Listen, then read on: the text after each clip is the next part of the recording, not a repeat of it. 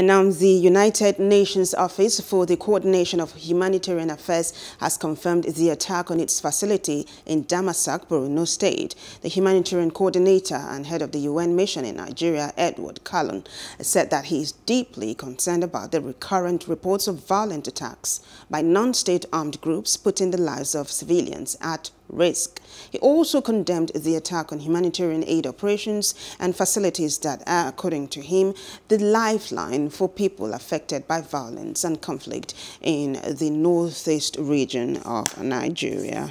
Hope you enjoyed the news. Please do subscribe to our YouTube channel and don't forget to hit the notification button so you get notified about fresh news updates.